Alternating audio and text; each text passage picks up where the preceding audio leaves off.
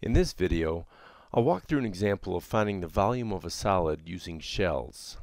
Our example asks us to find the volume of the solid that results when the region bounded by y equals x and the line x equals 2 and the x-axis is rotated about the y-axis. So we've got our boundary or our region which is bound by those lines given.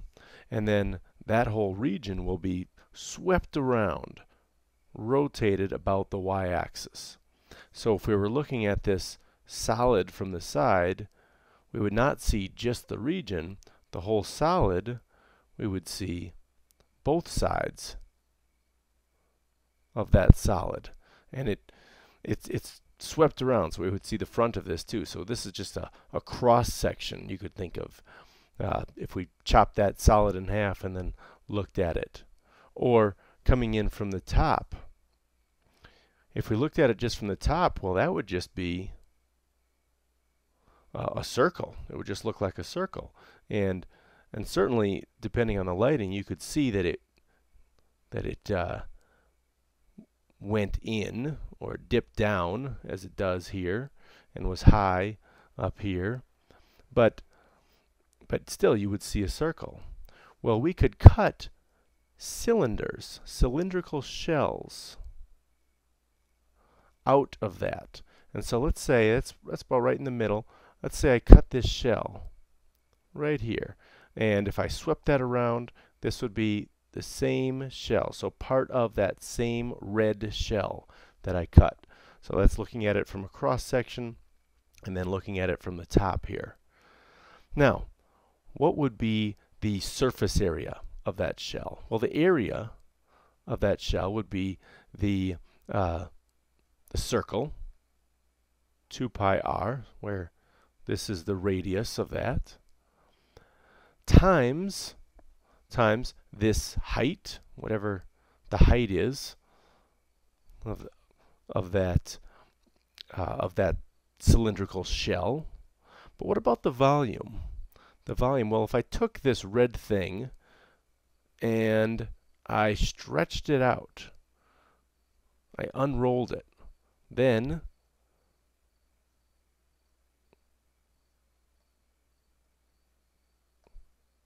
I would just get a, a, uh, a straight piece, just a, a, a straight uh, rectangle, if you will. Well, that's going to have some depth to it because this shell will necessarily have some depth to it and that depth, that thickness is going to be our dx. So then if we wanted to find the volume, the volume of each shell, we would say 2 pi r times the height times dx, some, some change in x. Okay, so now we have the volume, but now what, is, what about this r and x? We can't just deal with r or r and h because um, we want we want it in values of, of terms of x or, or y. So the r is going to be just the x value, right? So if this is r, well, that's the same thing as whatever x is. At that point, we're going to add up, what we're going to do is we're going to end up adding up a bunch of shells here. All kinds of shells. So they'll have all different radii, if you will. All these different shells. So the radius of any individual shell is just going to be whatever x is, whatever the value of x is. And the, the height, the height of any given shell is going to be the y value, right? This, this height equals whatever y is at any given time. Now, we have this relationship, so in our example, we're going to plug in x. And now that's not always going to be the case, that our height is the same as our radius here. But in this example, we have that just because, because of the line that we're using. If we were using x squared, then, then x squared would be our height. Okay. So, this is our volume of each individual shell, and that's 2 pi times x times, I'm going to say y just to keep it general, but we know that in our example we're going to plug in this x for the y, or a lot of books will say f of x, and that's fine. That's kind of that's the same thing as saying y. Uh, multiply by the dx. That's our volume. Okay, we're going to have to add all of those up.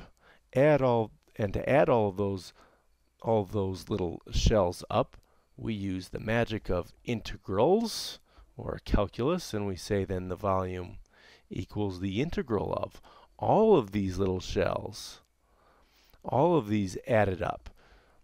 So we have 2 pi times x times our x, and that's again that's our that's our y, our height. Okay, and then multiplied by dx.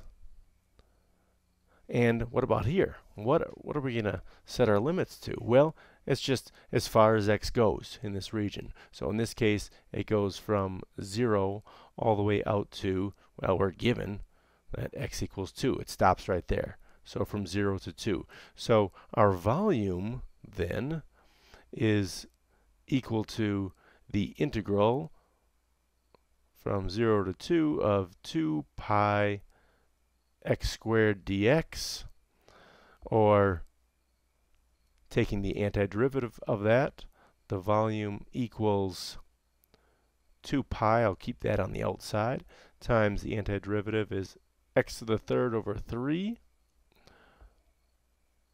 evaluated from 0 to 2, and when you do that, you get a volume equal to 2 pi being multiplied by 8, right? 2 to the third is 8. So 8 over 3 minus 0 over 3, because we have to consider this 0, which for the fraction lovers of you, that is 16 thirds pi, and for the decimal lovers of you, that is approximately 16.76. So, there was a nice example of finding the volume using shells.